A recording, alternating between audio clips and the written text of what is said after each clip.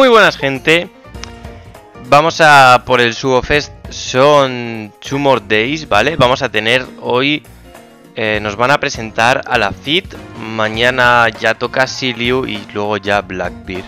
Así que vamos a comentar un poquito la FIT A ver qué tal está. Tenemos a la FIT que es un personaje shooter driven eh, Dex, 4 de combo, 4 slots 2094 de vida, 1139 de ataque y 406 de RCV. Su habilidad de capitán recupera por 3 su RCV eh, al final de cada turno y hace por 7 su ataque en daño Dex a todos los enemigos al final de cada turno. No lo veo útil porque no tiene bonus de ataque.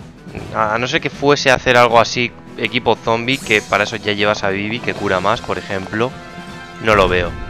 Y el especial reduce cadenas y silencios dos turnos y hace que los orbes malos y los orbes block no reduzcan el daño durante cuatro turnos. Es decir, eh, normalmente te dividen el daño a la mitad, pues hace que sean normales. No que sean buenos, que sean normales, como que no te resten ese daño.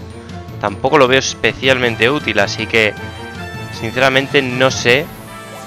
No sé, no me gusta mucho.